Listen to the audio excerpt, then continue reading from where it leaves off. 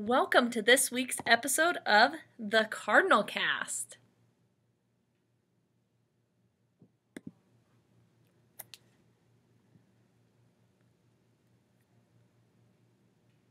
Hello and welcome, everyone. I am Lonnie Watson, by myself, no Jerry Mack to be found.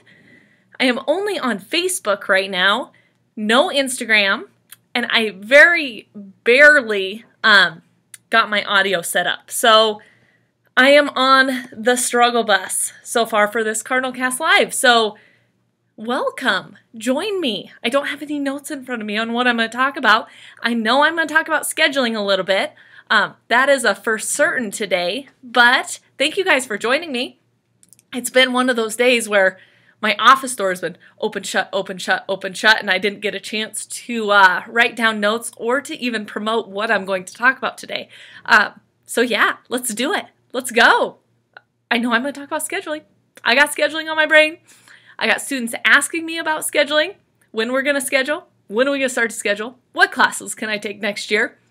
So, I'm going to talk about that a little bit. Um, I'm also a little worried about my YouTube video and quality, but what the heck? Let's roll with it. Let's roll with it. I'm really hoping, this is what I'm really hoping does not happen. If you guys, this is really funny. If you guys go back on the the YouTube to one of our, it was our second episode ever. It looks like this. There's no audio, none. And I think Jerry titled it Modeling Failure because we failed miserably. So I'm really hoping that there's some audio to this one. Um, and then I got it set up. We were gone last week. We were in training. Um, Mr. Mack's in training again today. We are so trained up. Just ask us. Um, I will let you know what I'm an expert in, uh, which is actually very little. So I want to talk a little bit about scheduling today.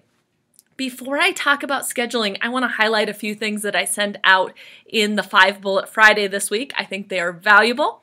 I think they are worth knowing. Um, and there's one video clip in there that I really want to make sure everyone gets a chance to watch. And I'm going to be really specific about the minute I want you to watch because um, it's a long video and we might not have time for all of it. So, Lonnie Watson, high school counselor, I help make the master schedule for the high school, you guys. I am in the process of collecting data from teachers. So that's where I'm at right now. So I just wanted to share with you on a day that I'm by myself uh, a little bit of what that looks like on my end and what it looks like for students. Um, and what kind of classes we might be offering next year if there are any changes. So, right now, I'm in the phase in scheduling where I'm having the departments decide what the heck I want to push out to kids. So I'm the one who gets to collect the data on what kids want to take. Um, I am the one who gets to give kids options for classes. Um, I'm the one who gets to talk about, hey, how does that class pair with something you might be interested in in the future? So I get to have really awesome conversations with kids. It is one of my favorite parts. But I do feel like there needs to be like 10 of me for this part of my job. Um, so right now the departments are collecting data within um, their classes within what they teach within their state with the, their state departments and their state associations on what what kind of offerings are needed? What offerings, uh, what do they need to be successful at the ne- next level in college? What if they want to go to a tech school? What if they want to go to a community college? What if they want to go to work? What kind of classes are, are we offering? What kind of within their departments are valuable for kids to know? So at this point, um, the the departments are doing the big legwork. Um, obviously, I I'm not an expert in a lot of different areas. I only ever taught math and I've been out of the classroom for quite some years now. So I'm not the expert on what kids need to know in math anymore. So that's where the departments, the department chairs, and their team meetings come into play on what is needed what kids need to know, what's going to make them successful in a wide variety and array of areas. Um, what electives we offer, what the core standards require. So they're deciding that. They will bring all that information back to me, and I will pump those classes out to kids. And if you've been watching my Five Bullet Fridays emails, they come out on Friday. Um, and I highlighted one of our new course offerings already in an email. And that course is called History Through Film. And hopefully you opened that email. I don't know that a lot did. I get some data on those MailChimps. And so last week's was a little bit down on how many opens we had, but that's all right. I'll be blessed for the ones I get. Um, and in that email, I highlighted uh, the syllabus and instructional modes for a new class called History Through Film. And it, Mr. Sandstrom's going to teach it, and it looks very fun. So if you get a chance, check that out. I think for the next few weeks, I'm going to highlight a new class or a class. Sometimes we have classes that aren't necessarily new, but they rotate. So, for example, next week I'm going to highlight vet science as one of my courses. And vet science has been offered before at Chadron High School, but it's an every other year rotation. So, we don't offer it every year. So, kids, and this is similar to what a kid would experience at the college rotation, um, you've got to be selective in your scheduling to make sure you can get that to fit in. And hopefully it does for those kids who want to take it. So, I'm going to highlight that next week. Very cool class to be able to take. Um, it's an agriculture based class. Um, kids take like this year companion animals would be an offering and next year vet science is a 90 minute offering. So they get a lot more in depth um, really good hands-on practical stuff. So that's in my five bullet friday and that's just where we're at in the process. I mean heck I don't know anything about vet science. Are you kidding me? I was a math teacher and I'm a school counselor. But those departments get together and they meet, and sometimes they include Mr. Mack, and sometimes they include uh, Miss Moore, our curriculum director, and sometimes they include myself, um, and they decide well what's what's needed in our areas. Um, where are kids finding jobs? Where are kids being successful in college? Where are we not being successful? Um, and we've got good relationships. Luckily, a college right next door to tell us some of those things good relationships with our other state organizations and state colleges as well, eh, as well as some private ones too. Um, in fact, this is, I'm getting way off tangent. Go figure. My name is Lonnie. I get off tangent. Um, we actually every year bring in a panel of past graduates and they help us actually decide what's needed as well because they're in the trenches at college right now. So we just did that um, before we left for holiday for Christmas break and they gave us really valuable information. They weren't all first year college students, they ranged from first to fourth year.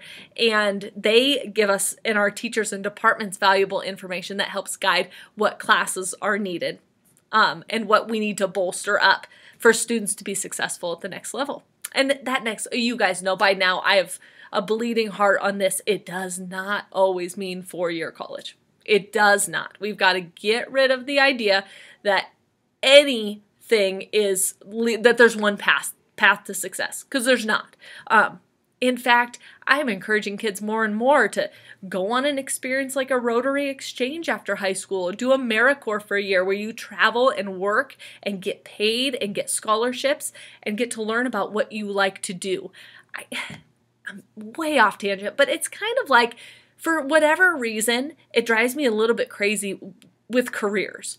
We are so narrow in what we think when and what path a kid needs to take at this point, when really finding a career is a lot like finding a spouse later in life. To find a spouse, we let kids date, right? And we let ourselves date. We didn't say, oh, I want a spouse that makes me this much amount of money and lets me live in this location, and therefore I choose that degree right? Like we dated a little bit. We went on a date. We met people we really liked. We met people that were awesome people, just maybe not didn't want to live with, right? So I think a little bit about this class exploration, career exploration, and college degree choosing as dating, right? Let's let our students date different courses. Let's let them try something that they might fail at. Heaven forbid we fail, right? We do. We fail all the time. We do every day. I was in tears last week for a couple mistakes I made. Um, still making them every day. Wish I wasn't. Beat myself up when I do, but I do. And um, if you haven't got a chance to, Mr. Mack and I had a really honest conversation on this podcast. It was one of our first one ones about taking hard classes. Um, and we talked about like hard things will come in life. Let's do it now together. Why we have lots of support. Um, and that could be anything. Like what's hard for me might not be hard for another student, or what's hard for one student might be easy for another. So it could be hard, could be challenging yourself by stepping out of a box and taking, you know, an art class. And hard for some might be taking trig, and hard for others might be that English class that's really a push for them. Um, so it's okay to try classes that we don't do well in. It's okay. There's no one path to success. Uh, so scheduling. Back to what it looks like on my end. So once the departments get together in February, Mr. Pow Pow and I will do what we call a rollover, where we move the year over in our computer system that allows students to make schedule requests. Once they make schedule requests, we'll probably do that in bigger groups, right? We'll talk a little bit about graduation requirements. Um, we'll do all those things. We'll do those in bigger groups, and we'll request because it's not it's not an actual schedule and it's not official yet. It is just requesting. So just to give us an idea of how many numbers, how many sections of each class we need. For example, um, I used egg before. Let's you know, let's use woods and welding. Um, there are some years where we have like three woods class offerings, and there's some years where we might have three welding class offerings, depending on what the students wanted at that time and place, or that place and time. So we'll get that data from the kids in big groups. I'll call them probably to the computer lab or to the auditorium and I'll get that data. I'll collect that data. I'll share that data with the departments in case they need to make some changes to who teaches what and where, and then we'll build the master schedule. Once we build the master schedule, that's all like my least favorite part, to be honest, because it's hard. It's I'm thankful I have a math degree because it's really like a puzzle. Um, I will then pull students individually to come sit down with me and we will make their schedules. So we will do the best we can to make a big master schedule that fits as many needs as possible. Um, last year, knock on wood, we got 90% of all requests satisfied. So, and that's a really, really good schedule. Um, our schedule I would I would say, and I'm being brave by saying this, someone could put me in my place, another school counselor, an admin who builds schedules for a different district. I would, I almost guarantee our schedule is one of the most complicated in the state to make. And I'm going to say that only because a schedule gets really complicated when you have very unique offerings. And at Chadron High School, you guys, we have such unique offerings. An example of this is we are the only school in the state of Nebraska that Chadron State allows us to teach dual credit math offerings. The only state, or the only school in the state. Um, basically they pulled it from everyone else and they said we know what you're doing at Chadron we know your teachers and we know your quality and we stand by that so that makes our schedule unique because those are singleton classes. Just AP Calc is one place and Pre-Calc is one place. Um, the other thing, like I said, our ag offerings and what we offer there is totally unique. Um, our AP offerings for the size of the school we have um, is outlandish. Our basic nursing, we get kids certified CNAs by the time they leave our building if they want it. Those are all unique offerings through WNCC, and they can only happen at very specific places. So our schedule is complicated, but we build the best one we can with the requests, and then the magic happens where I get to sit down with every student and build an actual schedule, and that's the fun part for me, because that's when we really tie in um, what I'm thinking. You know, like I want to pair these because it interests me for this. Then that's when we make learning uh, meaningful in the classroom and we're not just in boring classes. Uh, by the time you're a junior senior, if you've had good standing and got through all your requirements, we really pump requirements the freshman, sophomore year.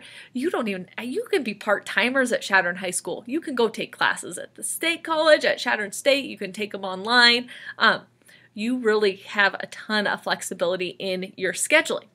So that's really fun. Uh, so for students who are like, gosh, you know, we just don't have a lot of the department or the classes that interest me, but the college does. So I'm just going to go over there and take a bunch of classes, and I'll help those kids get signed up for those too.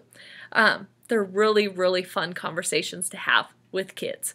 So that's when that's what the kids get excited for. They're like, this larger group requesting, it's important, we get it, we want to be as valid as possible and as accurate as possible. We get it. But the fun stuff and the thing they look forward to is that conversation where we sit down, where we pair ideas of like, is what do I want to do and how can I make this schedule meaningful for me and what I want to do. And maybe I don't know. Maybe I need to date around. I need to try different classes and explore, do some job shadowing, um, all good stuff.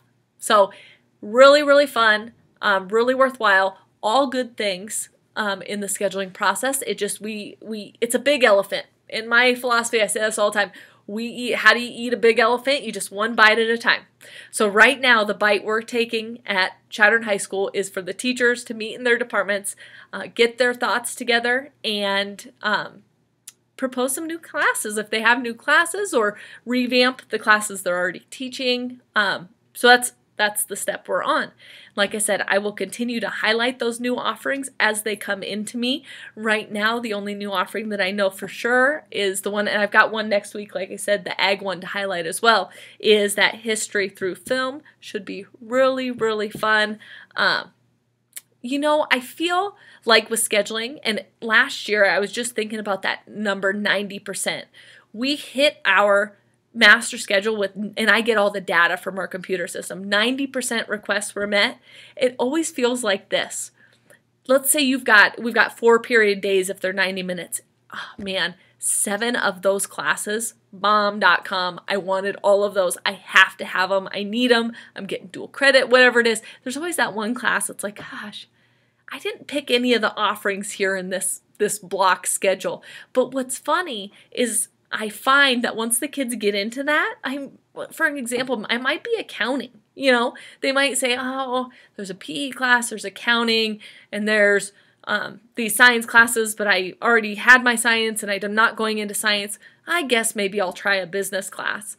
You'd be surprised how many kids were felt forced into an offering because they didn't like what was there end up loving or joining FBLA or doing something down the road, something they didn't foresee enjoying. So, um, I take that with a grain of salt on like, we can do well, we're not going to be perfect. There's no perfect schedule.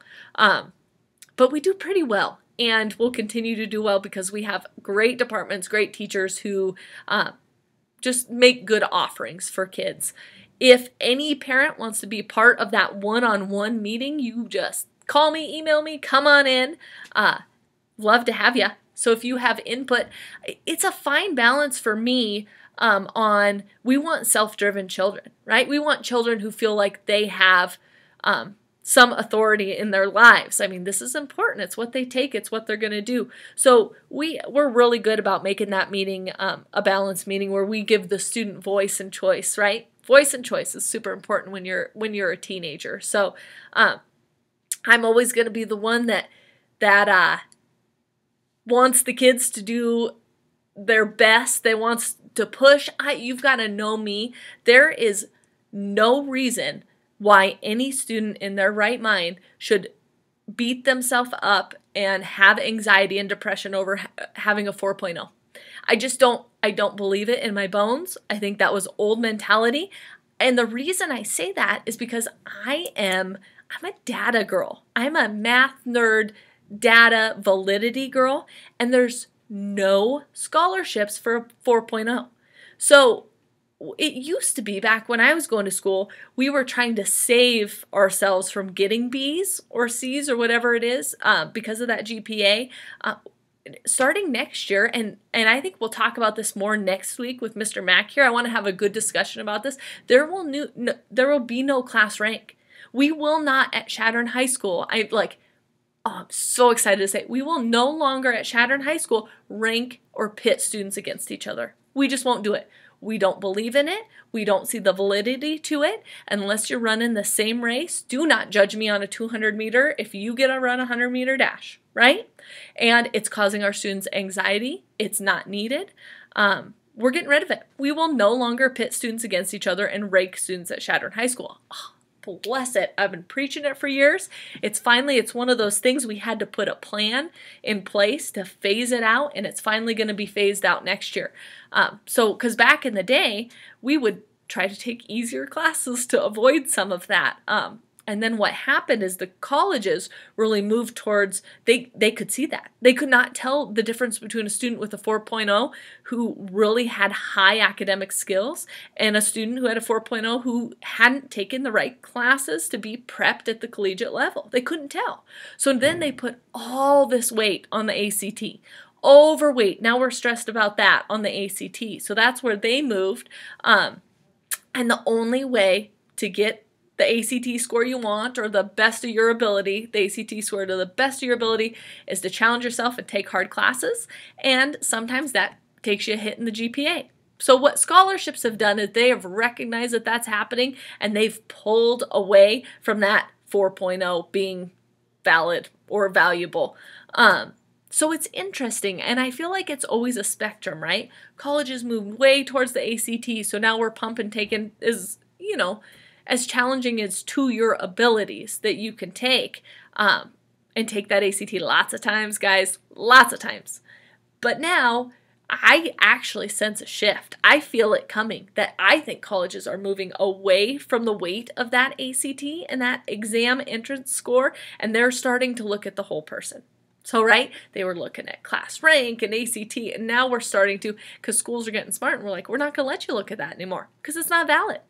I'm not comparing a kid who's running a 400 meter to a 200 it's it, there's no validity to it um, and that's not we don't want to promote the idea at Chadron High School of being perfect but being fragile right because we want to make mistakes and learn from those mistakes and uh, like I said, date around and try different classes and and see what works. Now, if any students watching this, I'm not telling you to go get a boyfriend or girlfriend. That's not right. High school, nope, don't need that. Just be friends, right? I'm getting off off topic again. But um, my point of the matter is all this, I got down a rabbit hole and there's no one path to success.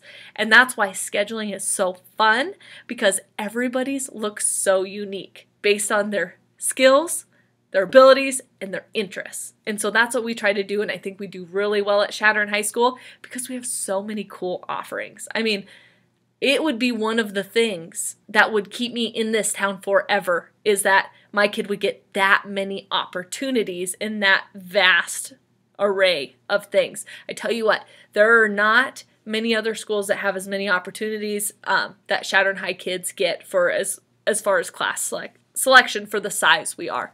So and activities too, I could go down a whole different rabbit hole. So that's super exciting for me personally as a school counselor and me personally as a parent of a student of a Cardinal. So um, that is scheduling. The other thing I wanted to talk about, I want to give a quick recap of a, the few of the five Bullet Friday items. First, I talked about the Kiwanis program. The Kiwanis program will be coming up in the spring. It will be a chance for every student who has a certain grade point average cumulatively, meaning um, that they've collected over time, that it is it is an average of all their terms, um, that they will get honored. It is something that usually happens in the middle of the day. It is not something they have to apply for. It is just um, they will get pulled kind of like the honor roll gets pulled through data as well. So there will be an opportunity for that.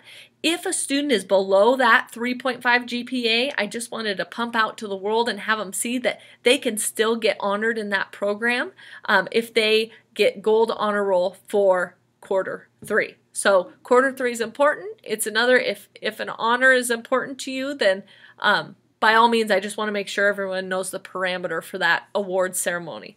Um, it's fun to go to. It's in the middle of the day, so it's hard to parents to get to sometimes because you got to sneak out of work, but the kids dress up really nice. I like to see them. And that is not run by the high school. That is an outside Kiwanis organization that comes in and puts the whole thing on. So um, there's very little that I do or, or Mr. Mack or that the school does. We, we try to stay out of that a little bit. Um, and the Kiwanis program puts that on. Thing two, highlighted that history through film course. Check that out. Thing three, if you are a senior or a parent of a senior, get on the Google Drive. There are so many scholarships this year. It's overwhelming how many scholarships a senior could fill out. It is like full-time job. There's no way they could fill them all out, but a scholarship a week, I, you know what? I coach seniors up just like anything else. It's like working out. If you don't have a system for when you're going to do it every day or three days a week and what times you're not going to do it, right? Or you're not going to do it with fidelity or you're not going to do it consistently. Filling out scholarships is the same as working out. It ain't always fun. It's not that fun. Okay? So if it's something's not that fun, but it's good for you, you better put a system in place so you make that a habit that you do your senior year. So I always encourage them like maybe it's maybe it's Sundays at this time, maybe it's in the morning where you wake up an hour early one day a week or two days a week, but you have a system for when you do that because it takes time and energy, and you won't have enough time in the school day in classes when you're learning to work on scholarships. I know Mr. Nobling and Mr. Ewing are gracious with their time, but they are government and English teachers. They need to teach government and they need to teach English. They give copious amounts of time for scholarship. That is a blessing, but it it's just not enough. Okay, it's not enough. It needs to be a habit that you put in and a system for when you fill those out. The last thing I really wanted to touch on is my last bullet um, for the Five Bullet Friday email was on social media. Again, it was on digital predators. Uh, Mel Robbins has done, it's a two part series so far. I encourage you to listen either on iTunes, watch it on YouTube. She has her own talk show. Um, or watch it straight from the link in the Cardinal Cast. But she talks about digital predators and any parents listening, I'm it just I'm seeing it still. We're seeing sexting, we're seeing nudes. We confiscated a phone this last week, not us personally, the cops did, of a student who was blackmailing another student. Uh, it is still a huge issue. I am hearing from from students that they are pestering for the, their moms for phones at fourth and fifth grade. Um, that it is just getting un, a burden to say no to social media that young scroll to about 30 minutes in that video and listen to these experts. And you should probably watch the whole thing. It's very i'll i'll admit i cried. It's very hard to listen to. Um, however it it's happening and our students are exposed to this world and we need to know. If you scroll to about the 30 minute mark and watch her expert that comes in and talks they talk about a law legislation called COPPA. And COPPA says in law that students are not to have social media before the age of 13. That's why Facebook prompts when you try to create an account. That's why Facebook prompts on there and says, Are you 13? Okay? If you're not, you're not supposed to have it. And I would argue that at 13 and 14 and some of these ages that they it's just not it's not helping. Okay, it's not helping. Now, you're going to get to a point where they're going to want to have it and, and you're going to want them to have it or you want them to start their digital footprint, all those things. And then we're going to live lives alongside with them because we know they have Finsta accounts. We know their Snapchat is the devil because they're streaking, not streaking, streaking, but sending streaks every day. Um, a streak is a continued message back and forth that just gets silly. And if you want to talk more about this, I give presentations around the state of Nebraska. Um, I've actually got a proposal in. I'm hoping to be able to speak at the American School Counselors Association in Seattle this year on snaps, sex, and social media. That video was good. Mel Robbins' series is good because it it highlights she brings people in who have been through it. And as a school counselor, I'm just sitting here nodding like I deal with this every day. We are not privileged and Chadron to not have these predators in our area. It's just not. They're everywhere. So I just want to make sure that um, I got babies too, and as parents and as um, students who support each other and as stakeholders in our building, that we are all um, in the know about what is happening. Because so often, what happens in my building, I can't talk a lot about because I'm bound by confidentiality and I want to keep confidential for my students. And so sometimes I can't talk about things till 10 years after it happens um, because it might currently be happening. Uh, so, so often I pump these the things I put out are the things I might be dealing with at the moment that I need you to know about. So, uh, in that Digital Predator series, the first one is a lot about um, private messaging and how that on Instagram, Facebook, Snapchat, and how that's become, you know, can be a real thing. This next one's about some of these self harm challenges. You've probably all heard of the Blue Whale Challenge. There's a strangling challenge. I mean, this is serious. I remember when there was the fun challenge, like the Ice Bucket Challenge, when we were trying to raise money and, and support. Um, for different disabilities, but that's not what these are. So definitely worth a listen, worth a watch. Um, not always easy to, but important that we're knowledgeable. Thanks for listening to my my speech on I think I'll title this scheduling in the high school, right? That's what I mostly talked about. I went off a lot of tangents. There's no one path for scheduling. There's no one perfect schedule.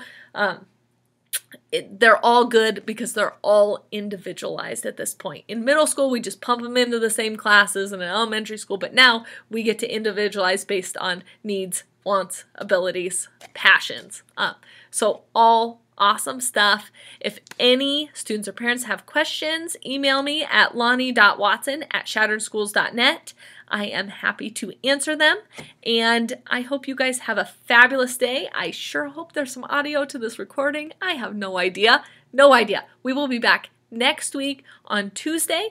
And uh, I will have Jerry Mack with me, hopefully, and uh, we'll pump out another Cardinal cast. So join us, tag anyone in the comments who you think needs to watch these, um, and share it. So uh, I want to make sure that my time outside of my office and not directly with students is, is valuable. So give me feedback, tag people in this, email me, let me know if there are topics you want me to cover more in depth. So awesome. Thank you guys. Take care.